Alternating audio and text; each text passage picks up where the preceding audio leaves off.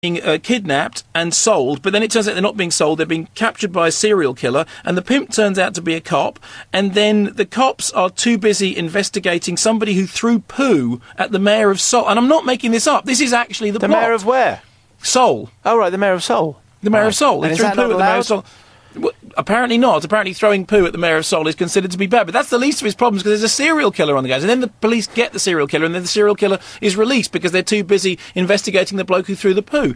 And like all those movies, there are bits in it that are incredibly nasty. That's there a are bits in it that isn't it? That's a strangely bad knock day. about fun. What? Serial killer and someone throwing poo around. I know, and the police All- are more interested in, in, in the poo chasing. But it's you know it's it's like all those films. It's a little bit like Memories of Murder. It's not as good as Memories of Murder. Memories of Murder was a really really intelligent film, but there are there's 58 different things going on at once, and there's this child in the middle of it, and some bits of it are sort of seen through a child's eyes, and some bits of it are grisly, leery serial killer bits, and some bits are incredibly parodic about how rubbish the police force are, and it goes on for over two hours, and at the end you come out of it thinking, well, blimey, you know.